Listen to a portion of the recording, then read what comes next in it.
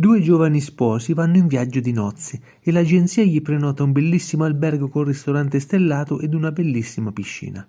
Arrivati all'albergo nel tardo pomeriggio decidono prima di fare una bella nuotata in piscina, prima di andare a cena al ristorante. Scesi in piscina vedono che non c'è nessuno. Essendo soli decidono di fare il bagno senza niente. Così tolgono tutto e fanno un bellissimo bagno rilassante da innamorati per festeggiare la loro luna di miele. Dopodiché salgono in camera e si preparano per andare a cena e scendono al ristorante che è pieno con tutti gli ospiti dell'albergo. Notano subito che una parete del ristorante si affaccia sulla vasca di un bellissimo acquario gigante. Durante la cena notano però che nell'acquario non ci sono pesci. Così chiedono al cameriere: Scusi, ma l'acquario non ha pesci? Ed il cameriere: Quello non è l'acquario, ma la piscina dell'albergo.